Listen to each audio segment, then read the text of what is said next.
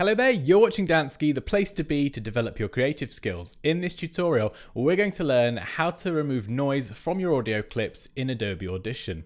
Now, we don't normally do Adobe Audition tutorials, but this is invaluable, something I learned recently to help clean up my audio. So if you use Adobe Audition or Adobe Premiere Pro, then we're going to cover that in this tutorial, and I definitely recommend watching it because it's really, really helpful. So let's jump into Adobe Audition. And I'm going to start by going to File, down to Import, and I'm just going to navigate to my audio file and open this in Audition. And you'll see I've left some blank space at the start and the end of the recording. This is deliberate because this, if I play this through now, is silence, but you can hear a little bit of a hum. That is some of the background noise being picked up by the microphone. The microphone that I'm using is the Rode SmartLav Plus. And it's a really good little microphone if you're on a budget, but it does pick up some noise. So what we're going to do is use the time selection tool at the top here. And we're going to drag over this space where I'm not talking. And what we're going to do is we're going to tell Adobe Audition, hey, this space where I'm not talking, but there's a little bit of a hum, this is noise please can you remove it? And Adobe Audition is going to go, yes, absolutely, I'll remove this for you right away. So once we've made that selection, we're going to click within this white space and go capture noise print. So that's us saying, this is what noise sounds like. And we can click anywhere to deselect this. And if I just press spacebar, you can hear me waffle on about a quick brown fox and a lazy dog. And if you'd like to follow along with this tutorial, then I will link this audio file in the description. The quick brown fox jumps over the lazy dog. So I will waffle on for about 25 30 seconds.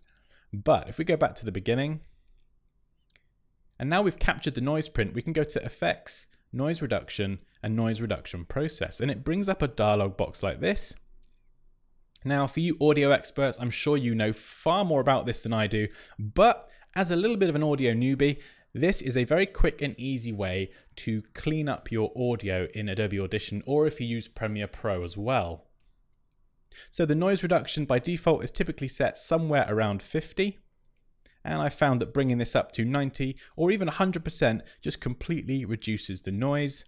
And the spectral decay rate is at 65% by default. And by bringing this down to somewhere around 10 or 11% is another way that I found really helps clean up the the, uh, the audio and the noise in the audio. So depending on your audio that you're using, you might need to adjust these specifically for it to work for you. But what you can do is you can play the audio at the bottom here with the play icon. You can set whether you'd like it to loop once it reaches the end. And you can turn it on and off so you can hear it like this, your original audio, and if you toggle it on so it's green, it will play it with all of these changes that you've applied here. So we've increased the noise reduction to 90%, we've adjusted the spectral decay rate to 11%, and if we go select entire file, so we've got the entire file selected, what we can do is then click play and play through the audio. And what I'm going to do is that while we listen to it, I'm going to turn this on and off just so you can hear the difference. Okay, let's do this. So that's the noise you can hear in the background there. That's what it sounds like now.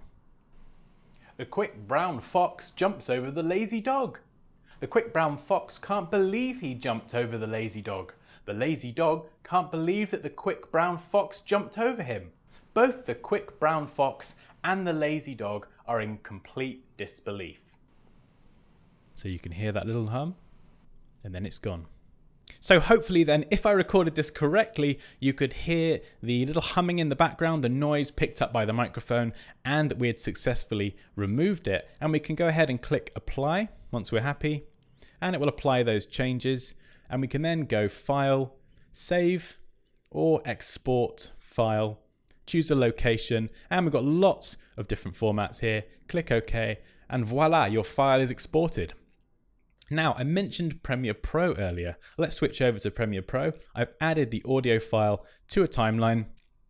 If you'd like to clean up your audio in Premiere Pro without having to go into Audition and then export it and all this nonsense, what you can do is simply right click your audio and go Edit Clip in Adobe Audition.